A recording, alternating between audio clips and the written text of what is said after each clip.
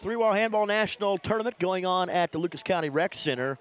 The defending champion, Sean Lenning, winning game one over Shorty Ruiz. Lenning played well. It went to three sets, but Lenning would take it in the third. In the second match, Tyree Bastidas over Andy Net. This one goes to three as well, but Tyree Bastidas from Brooklyn, New York prevails. So it's Tyree Bastidas against Sean Lenning in the championship on Sunday, only on BCSN.